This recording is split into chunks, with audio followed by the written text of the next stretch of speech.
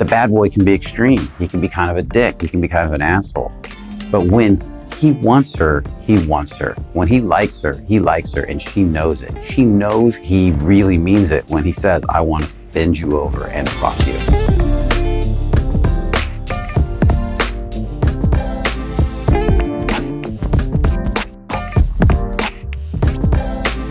So in this video, we're going to be talking about why women love bad boys.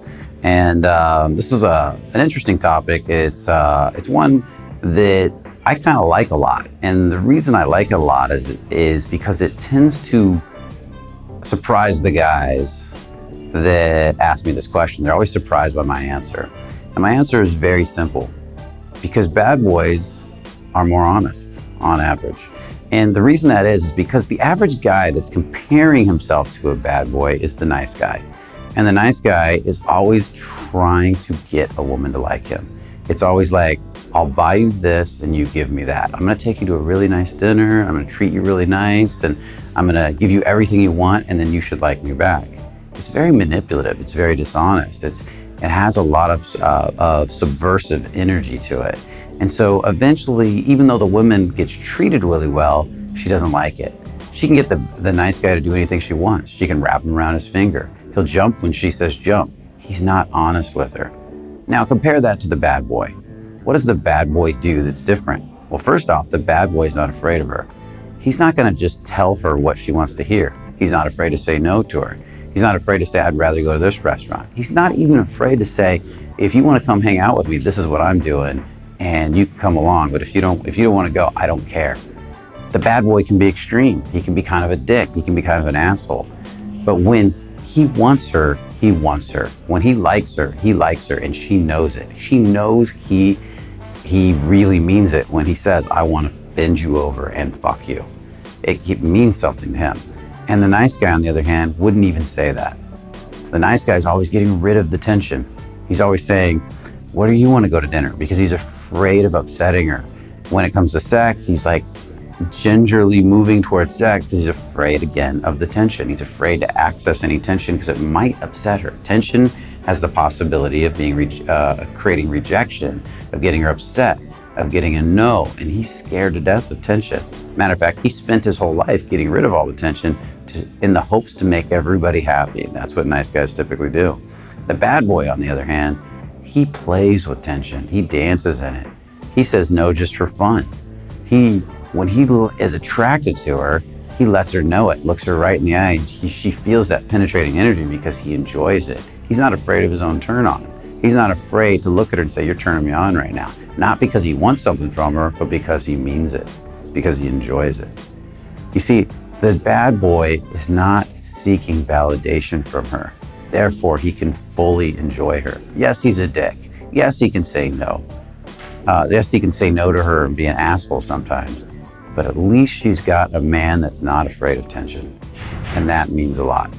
Now, we're going to look at this one more way. If we look at history and we go back, let's say a thousand years to a primitive tribe, and you had a nice guy and a bad boy in the primitive tribe.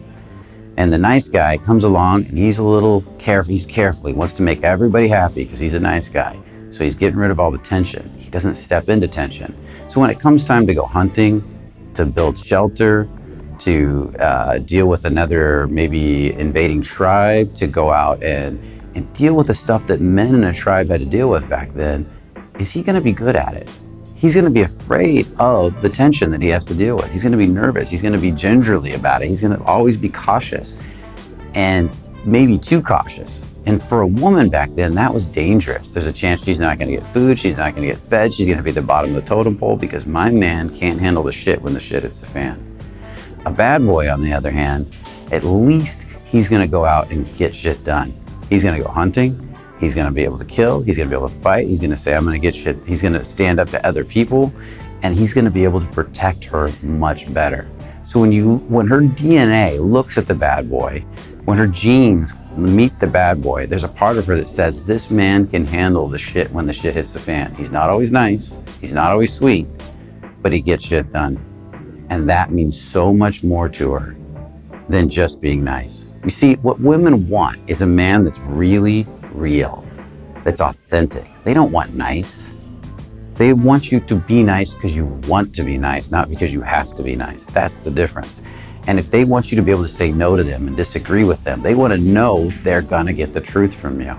And that's the one thing the bad boy gives them. So I'm going to present a third option here. Instead of being the bad boy, instead of being an asshole, instead of being the nice guy, be a real man. A man that's authentic and real. That's nice because he chooses to be, not because he has to be. That can also say no to a woman and can also play with tension. And can also whack her on the ass and say, You're being a bad girl right now. Come here. Because he enjoys it, because he's having fun with her, not because he's a dick. See, women will appreciate that so much more.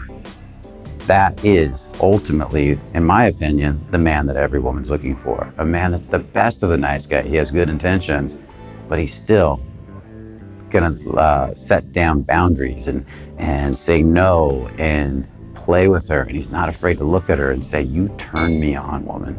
He's not afraid to tell her, I'm gonna bend you over tonight and have a great time with you because he doesn't need her validation. He ultimately can be totally giving.